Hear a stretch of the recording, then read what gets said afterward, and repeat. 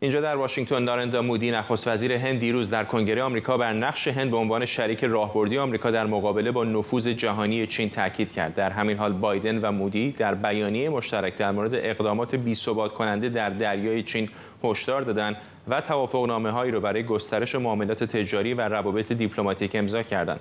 به نوشته بعضی تحلیلگران دولت بایدن دوران جدیدی از روابط با هند رو با هدف مقابله با چین و کاهش وابستگی به این کشور رقم زده. در سفر آقای مودی به واشنگتن دو طرف برای خرید پهپادهای نظامی هند از آمریکا و تولید مشترک موتورهای جت جنگنده توافق کردند. آقای مودی در کنگره آمریکا رو مهمترین شریک دفاعی هند خوند.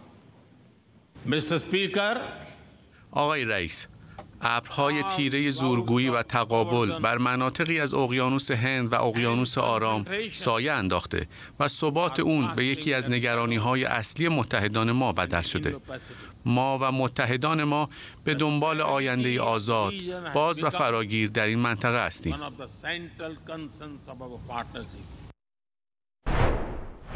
فرشته پزشک کارشناس روابط بین الملل از واشنگتن با ماست. خانم پزشک انتقاد دو طرف از چین شاید خیلی مایه تعجب نباشه چون می‌دونیم خود هند هم اختلافاتی با چین داره حتی اختلافات مرزی هم داره. اما چیزی که شاید سوال برانگیزتر باشه روابط هند هستش با روسیه. می‌دونیم که خریدار نفت این کشور هست و الان واشنگتن به هر دری می‌زنه که روسیه رو زیر فشار بذاره. درسته ولی اولویت بالاتر دولت آقای بایدن و استراتژیش برای نزدیک شدن به چین نزدیک شدن به هند مهار چین هستش. به نظر میاد که آقای بایدن و دولتش به این نتیجه رسیدن که اگر که شانسی بخوان داشته باشن برای اینکه بتونن در رقابت با چین مهار بکنن و کنترل بکنن چین رو بدون هند نمی‌تونن این کار رو بکنن. حالا نمیشه از هند انتظار داشت که هم در مورد روسیه با آمریکا کار بکنه هم در مورد چین. بنابراین علیرغم اختلافات دیگه‌ای که دارن علیرغم اینکه انتقادهای بسیار زیادی به آقای مودی هست در مورد اتفاقات داخلی که در هند افتاده و روند برگشت پذیر شده در واقع دموکراسی و اتفاقات داخلی هند آمریکا این تصمیم استراتژیک رو علیرغم انتقاداتی که به آقای بایدن شده گرفته که برای کنترل چین روابطش با هند رو گسترش بده و عملا یه فرش قرمزی پهن بکنن که تقریبا در دو سال و نیم گذشته فقط رهبر کره جنوبی شاید یه همچین اتفاقی رو داشت. ولی به نظر میاد که راه دیگه ای نیست. و اولویت آمریکا چینه و برای اینکه کنترلش بکنن ناچارن با یه سری از مشکلات هند از جمله روابطش با روسیه و مشکلات داخلی هند کنار بیان.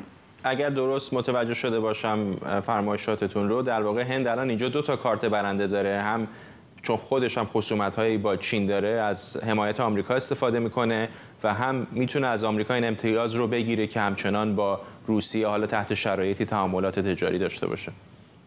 بله کاملا. یعنی آمریکا الان اونقدری نفوذ نداره که بخواد هند رو ناچار بکنه که با روسیه کار نکنه. بنابراین هند در واقع می‌تونه هم امتیاز بگیره. هم در نظر بگیرین یه موضوع دیگه که اینجا به نفع هند هستش اینه که به طور تاریخی آمریکا خیلی وقتا از پاکستان حمایت می‌کرد و سلاح با به پاکستان میفروخت. به خاطر اینکه به خاطر اینکه هند و روسیه نزدیکن و در دوران جنگ سرد هم اتفاقا هند و شوروی روابط خوبی با هم داشتن. همین امروز هم پاکستان اعتراض کرده بود به این سفر آقای مودی به واشنگتن. و همین دلیل من فکر می‌کنم هند و اینجا خوب داره امتیاز می‌گیره و راه دیگه هم واشنگتن نداره و اینکه اون اولویت اصلیش که کنترل مهار چین هست رو جلو ببره و ناچاره که با هند کنار بیاد و این علیرغم اون چیزی هستش که خب می‌دونیم با روسیه ارتباطاتی دارن. ممنونم از شما. فرشته پزشک کارشناس روابط بین الملل از واشنگتن.